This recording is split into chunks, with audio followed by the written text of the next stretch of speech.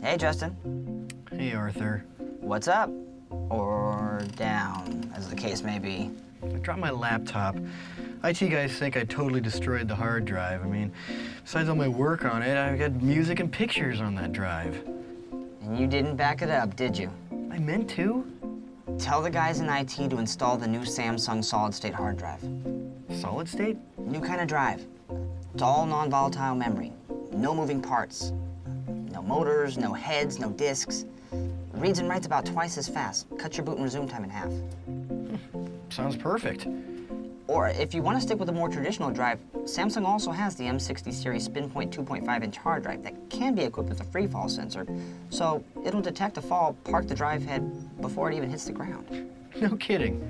And while you're at it, have them install the Samsung optical disk drive. It's got the fastest read write in the business, and it's much quieter.